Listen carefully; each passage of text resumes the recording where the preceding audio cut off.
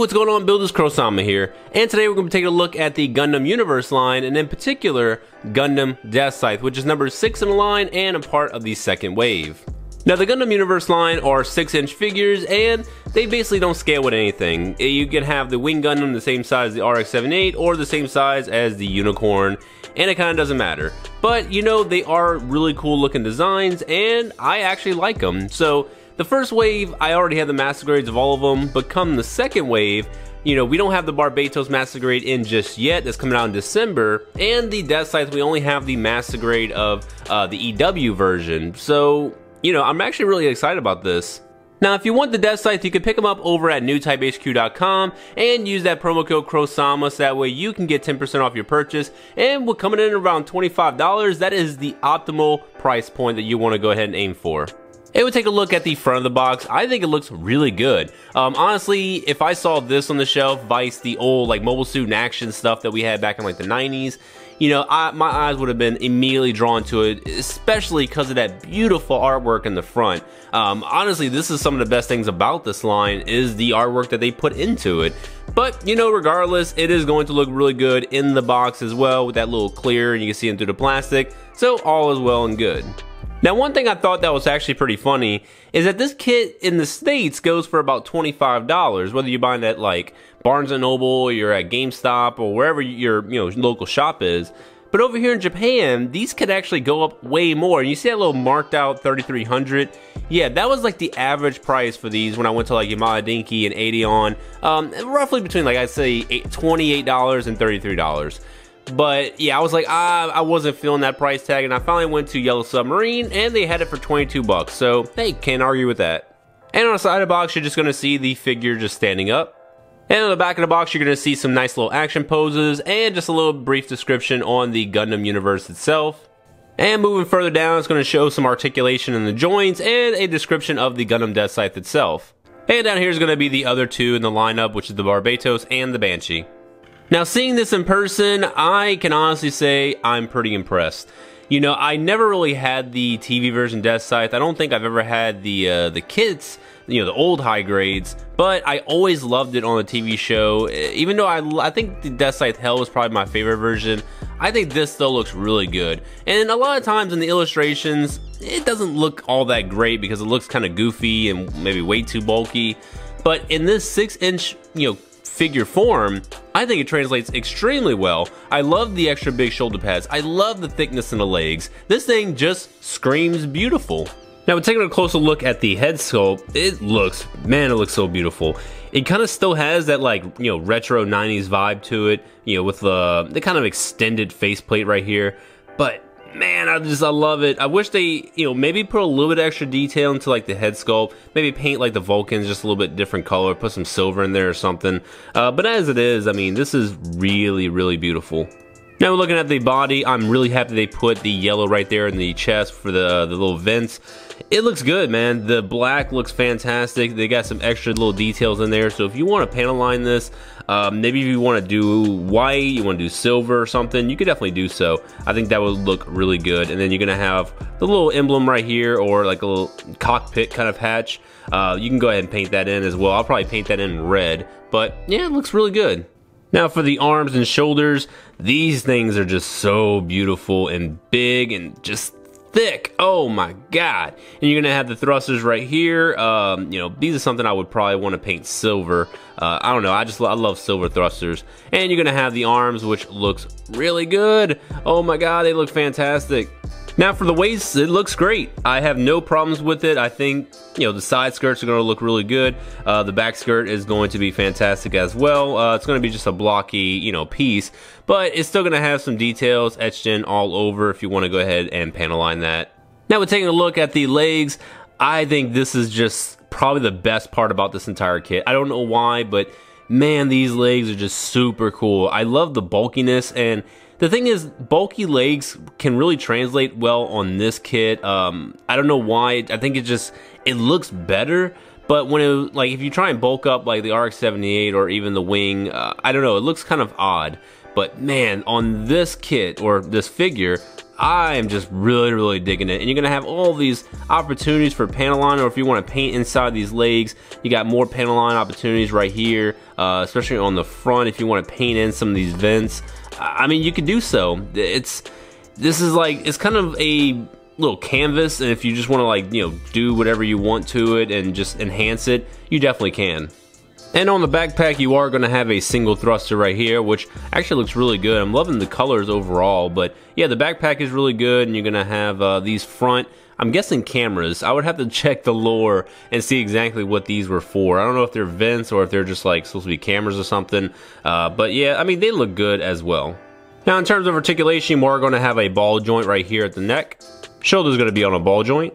You're gonna have like a little peg and a ball joint right here at the shoulder, so basically gonna give you some good range of movement, which allows it to go out about that far. Swivel at the bicep. You're gonna have two points of articulation right here and right here, so it's going to give you a pretty good bend. Ball joint at the wrist. It's gonna have a really good ab crunch. Jesus, that is actually, that's actually pretty good.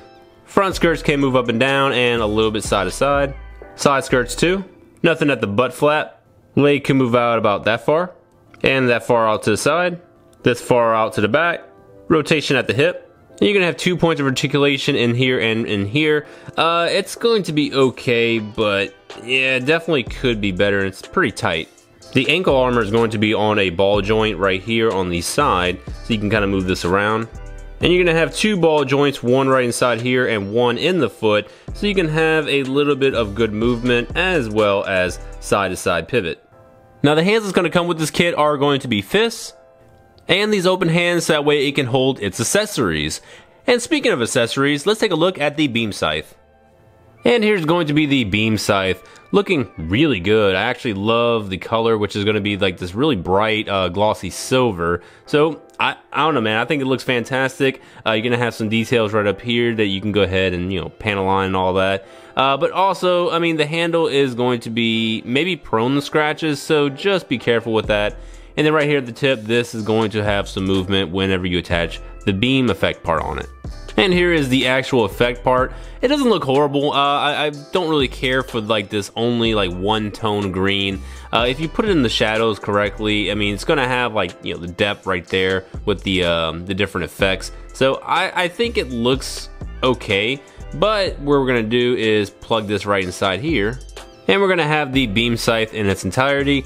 And honestly it looks pretty good. And if you just bend this up and down I mean you're gonna have some pretty cool poses that you can pull off with this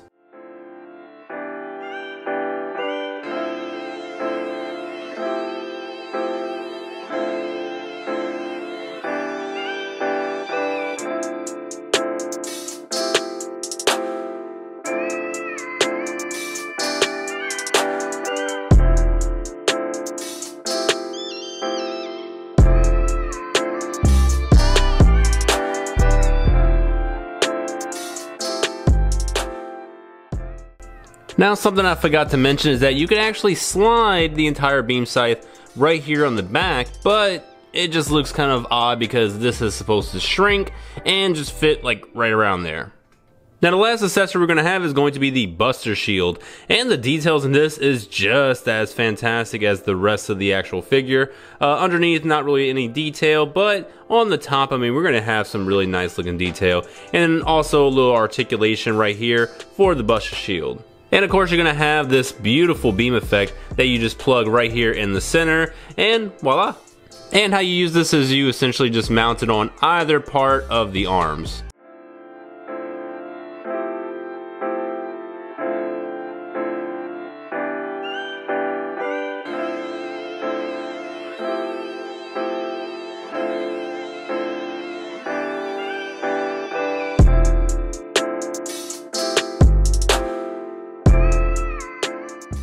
Now the last accessory is going to be this base adapter which you can plug right underneath the death scythe and plug into any compatible action base.